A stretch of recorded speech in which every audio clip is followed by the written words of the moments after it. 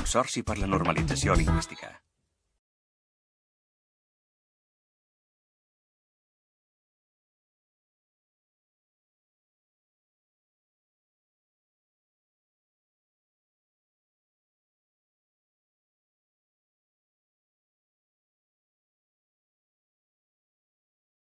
Eh, eh, em diu Adriana Mejía, soc de Colòmbia.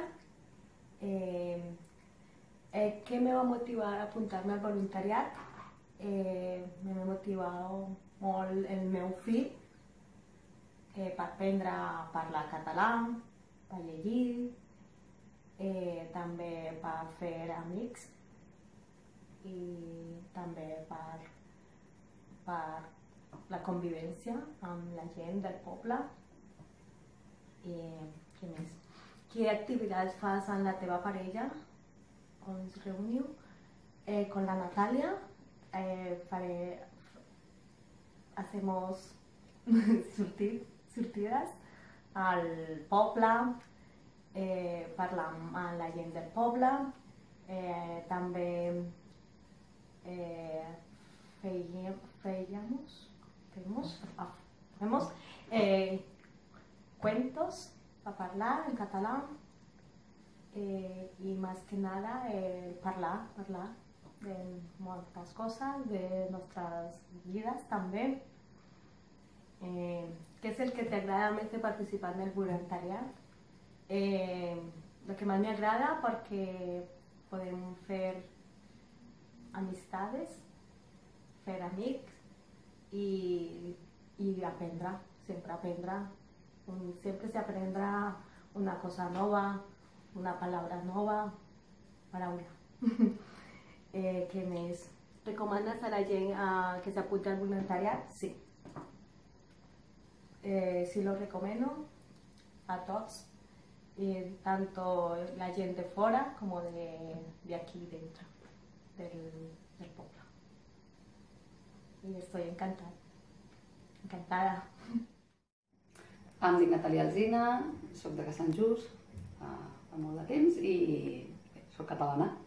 Eh, el que em va motivar, doncs vaig començar perquè la meva germana també és voluntària per la llengua i penso que és una bona forma d'integració. Valoro moltíssim la gent que ve de fora i que vol aprendre català perquè em sembla que és una, un gran respecte cap a, la, cap a nosaltres no? i penso que, que té molt de mèrit perquè hi ha molta gent que porta aquí tota la vida i que no parla català i en canvi ells eh, porten molt poc temps, no tenen en el fons cap necessitat real de fer-ho i, i realment és d'agrair.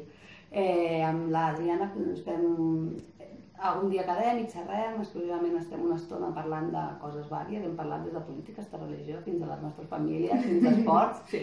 Un altre dia hem fet sortides pel poble, hem anat a l'Ajuntament, hem anat a comprar pernil d'olda al mercat, hem anat a la biblioteca a buscar algun llibre, hem anat a prendre alguna cosa en algun bar i hem fet alguna... Sí, la setmana sí. passada ens va condir molt la sortida. Aquesta setmana hem fet un conte, el llegeix ella en català, després el llegeixo jo, després ella me l'explica, que si té que estructurar-ho i bueno, eh, ha sigut també molt entretingut de fer.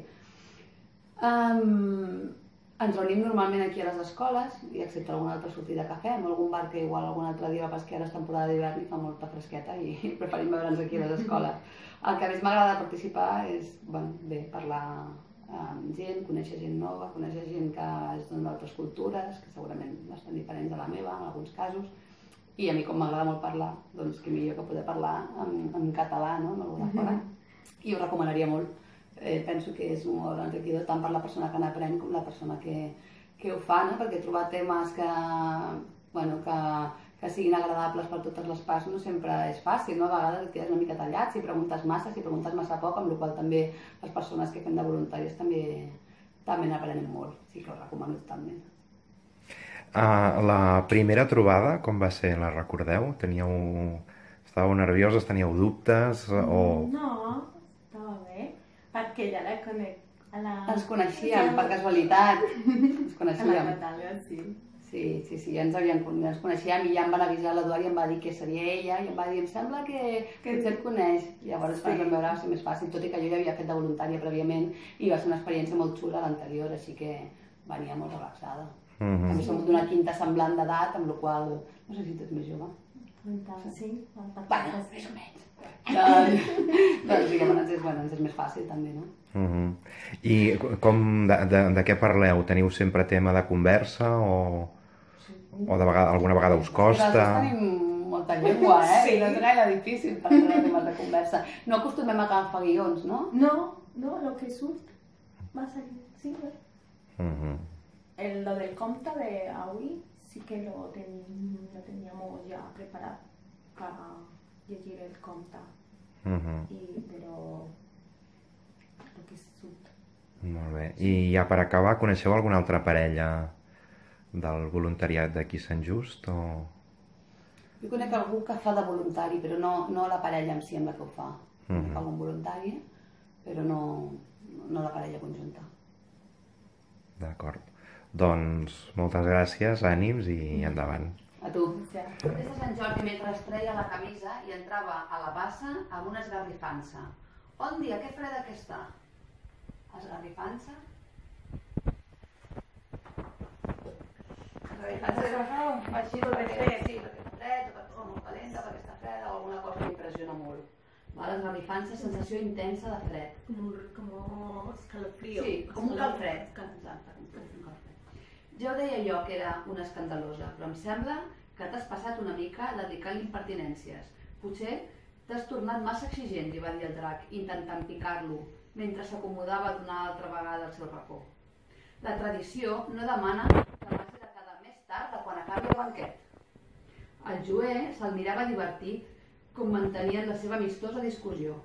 Sant Jordi es rentava amb ganes i el drac rossegava unes arrels, Rosegaba. Mapía.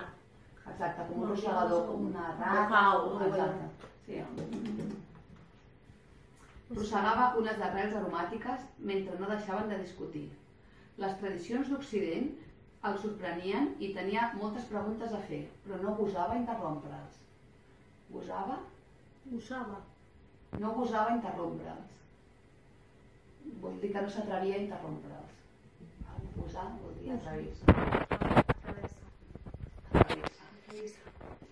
Mira, Drac, hauríem de repassar la batalla i buscar nous moviments. Sant Jordi havia sortit de la bassa i s'anava vestint. Per cert, Llué, què t'ha semblat la llegenda d'aquest matí? Molt maca, però hi ha coses que no acabo d'entendre. Per exemple, per què la sang del drac neix en roses? O senzillament perquè ha de morir el drac? És una llegenda i una tradició, i com tota tradició, cada any mor i cada any torna renovada. És simbòlic. Sant Jordi, un cop vestit, s'havia assegut entre els dos dracs. Que no en teniu de tradicions i llegendes a Orient? I tant, però són diferents.